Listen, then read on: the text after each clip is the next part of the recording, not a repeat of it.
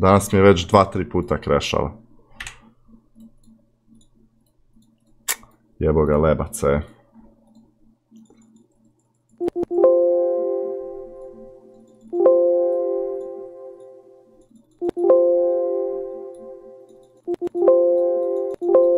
Aj uđi, aj uđi.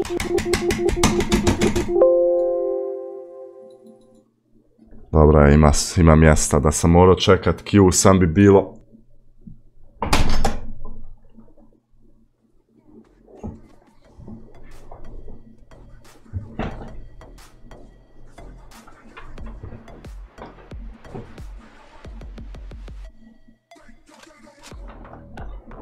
Nice guys.